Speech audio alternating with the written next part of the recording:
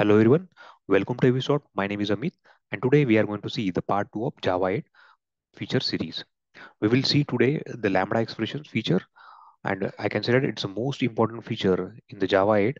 Without understanding the Lambda expression, you cannot able to understand other features of the Java 8. So let's start with the Lambda expression and the functional interface predicate.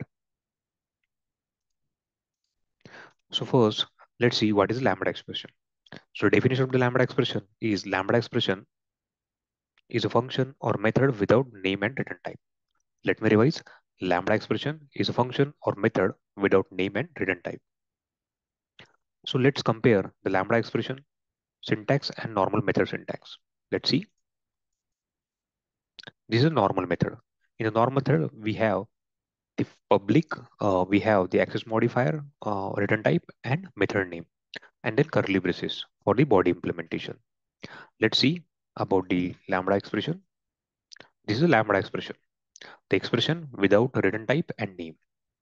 And it has one arrow and that arrow indicating the body, that lambda function body or expression body. And in normal method, we also have the body for that method and the lambda expression is also has the body for the implementation. But the missing thing is return type and that method name. Okay, that's it. Now let's jump on to the implementation of the lambda expression. But before jumping onto the lambda expression uh, implementation, uh, we will take one normal Java program. Uh, based on that Java program, or, or we can say that uh, we will convert that Java program into Java later. And we will see what is the difference between that normal Java program and that Java 8 program with the Lambda expression and functional interface. Okay, so it will help us to understand the uh, requirement or understand the uh, difference between the Lambda and normal functions. So let's start with that normal program. Okay, the program statement is write a program to check age is greater than 18 or not. That is the program. Let me revise it. Revise it. So write a program to check the age is greater than 18 or not. If age is greater than 18, then return true. If it is less, then return false. So let's start with that. So let's write the program. So the, let's write a class name, class. Class name is, let's take a validate. Inside the validate, uh, we should have one method called as a public uh, boolean and method name is validate age. That's it. And at age taking the input argument int and then provide the implementation. Implementation is if age is greater than greater than 18 then return true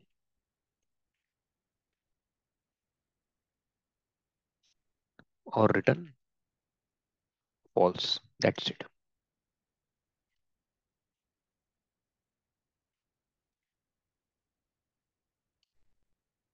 Return false. That's it. Okay. So to call this method, we need to create the object of validate class, validate v is equal to the validate and then v dot validate age. Now pass the age here. Let's say I'm passing the 15. So it should return the false. So let's print this in using the sysout. Okay, so copy this.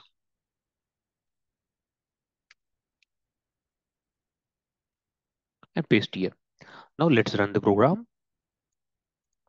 I can see the, the, the output is false.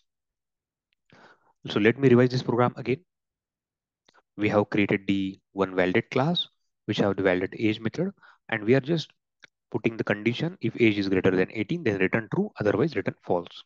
That's it. And to call this method, we need to create the object of that class, and then we need to call the method. So if you, is there any problem in that program? No, at the high level, we cannot, we can't see any problem here. It is working fine. But still, if you observe here, or to just check the age or single parameter or single condition we need to create a separate class and then we need to create a method. And then after this we need to create an object of that validate class and we need to call that method. That is the problem. Let me revise it. To just check a single parameter it is greater than 18 or not 18 we need to create a separate class and then separate object and we need to call that separate method to check single parameter we need to write this much of code so to minimize that code we can go for the lambda expression so let's see what is lambda expression. So as we discussed earlier, the lambda expression is used to provide the implementation for the functional interface. So there are set of function interfaces present in the Java called as a predicate function supply, etc, etc, etc. So to solve this issue, which function interface we should choose? So we will choose the predicate. So let me show the structure of predicate.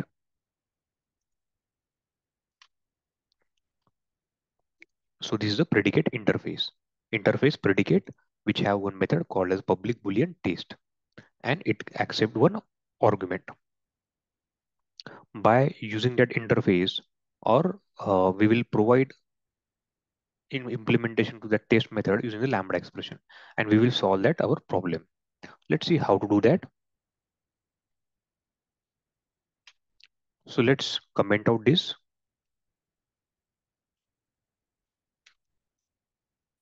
Now right here, the predicate. Predicate P.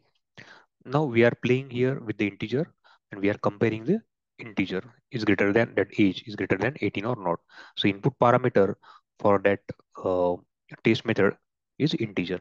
So provide in the generic type is equal to integer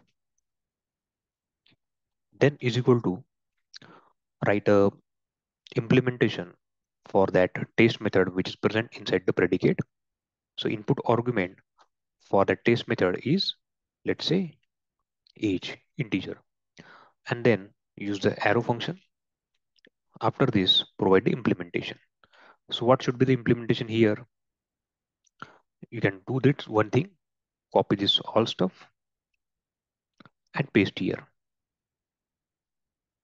That's it. And provide the semicolon. Now you observe, if you observe here, predicate P is equal to, this is the implementation for that predicate interface. Predicate interface test method. The test method accepting one parameter, which is we are giving here the parameter called as integer age. And if that age is greater than 18, then return true, otherwise return false. That's it. So in that case, we don't need to write this stuff, remove this stuff. And now here, remove this also. Now let's call the test method, which is present inside the predicate P. So P dot, P dot test, which accept the age in form of integer. We passed here the 15 and let's print this the output. Sysout. P dot test. Let's say 15. Remove this line and let's see what is the output here. I can see the false. Output is a false. Now pass here the 25. It should return the true. Now, if you observe here what we achieve. So here by using lambda expression, we don't need to create a separate class. We need to we don't need to write a separate method.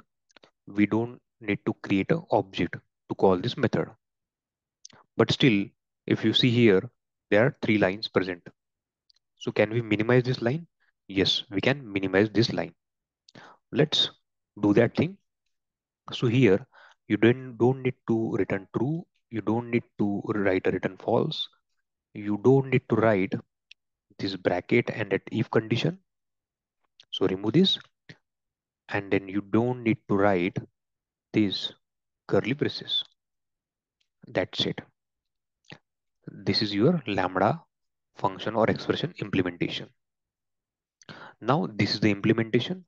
What that implementation is returning true or false? Age is greater than 18 or not? True or false? It will return true or false. That's it. And it is expecting true or false only. Okay the test method return type is true and that p is ex ex expecting this only. So it will return true or false. That's it. And now we are calling p dot test. Passing 25 here the mm-hmm. value of age is equal to 25 and it is comparing age is greater than 25 or not. Yes then it will return true. That's it. So if you observe here we have written entire logic in single line. In the java normal java before java it will take a four five six eight lines but here only single line is enough. Now let's take some another example. Let's take one example like validate username valid username. If that username is greater than 5 then that is valid username. If it is less than 5 then that is wrong or invalid username. So for that execute this program or write this program in normal java. So how to write this? Write a class. Then class name is called let's say validate username. And then it should have one method called as public uh, boolean and then method name is validate username username it should accept a parameter called as a string. Username so let me correct the spelling here. And let me change the name of class. The class name can be only validate. That's it provide the implementation. So provide the implementation if you name is greater than or the name of the length of name is greater than 5 then return true. Else return false that's it. So this is the implementation. Now call to that validate username. So how to call this? Remove this. Create a validate. V is equal to new validate. And then uh, sys out. Sys out. V dot validate. Pass the name. Let's say passing the av sort. So it should be valid name because the length of that name is greater than 5 so let's run this. Okay it's true. Now pass some another username like abc let's run. Okay so it is written the false. That's it. So it is working perfectly in the normal java or without java it but the thing is we have to write to check the username we have to write this much of lines. So to avoid this we can do one thing. We can use a lambda expression and use the predicate remove this write a predicate predicate and input argument is a string for the test method because we are checking the username which is string. String p is equal to provide the lambda expression bracket inside this uh, the input argument called as a username then arrow function and then provide the body. So what is the body here? Just simply copy this logic which returning the true or false and paste here. That's it. Now call the uh, that uh, that method. How? Sys out let's print the output also. P dot validate. Sorry test. Not a validate it's a test because predicate have the test method. Test and pass the um, any name let's av so it should return false let's run I can see it is written the false. That's it. So what to do then next? Uh, we can modify this code and we can minimize the line of code. How? We don't need these curly braces. We don't need this if condition. We need only this condition. That's it. Copy this paste here. Now our function is ready here. Now let's run. Will it work or not? Yes, it is working. So what is happening here? We are passing the AV. The value of that username is equal to AV. And then AV.length is greater than 5 or not. Obviously, it is not greater than 5 and it is returning the false. So that's all about the Lambda expressions and the function interface implementations. We will see some important function interfaces in the part 3. So if you like, so please share and subscribe. Thanks for watching the video.